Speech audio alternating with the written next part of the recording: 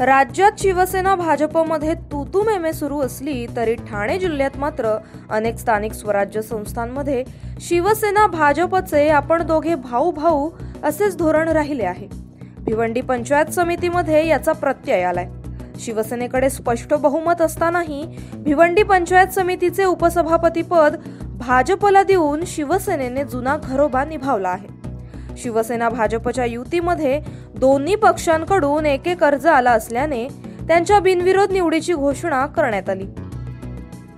त्यानंतर भाजप आणि शिवसेनेच्या सदस्यांनी एकमेकांची गळाभेट घेऊन जल्लोष करीत शुभेच्छा दिल्या.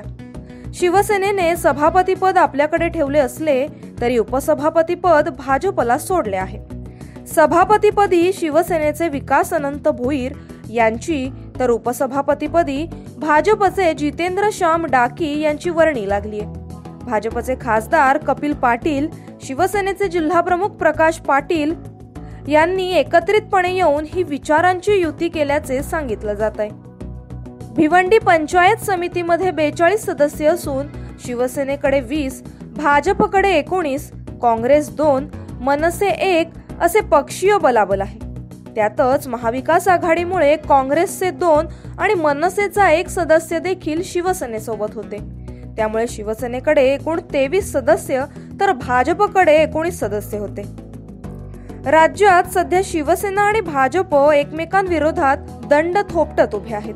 भाजप विशेषतः देवेंद्र फडणवीस आशिष शेलार हे शिवसेनेवर तुटून पडतायत. शिवसेनेला खिंडीत गाठण्याची एकही संधी ते सोडत नाहीयेत.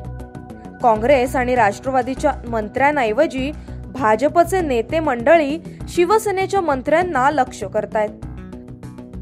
राज्यातील विरोधाचा सूर भिवंडीत मात्र दिसून आलेला नाही. राज्याच्या राजकारणाला बाजूला सारत शिवसेना आणि भाजपच्या स्थानिक नेत्यांनी आपल्या सोयीनुसार युती करून ही निवडणूक बिनविरोध पार पाडली.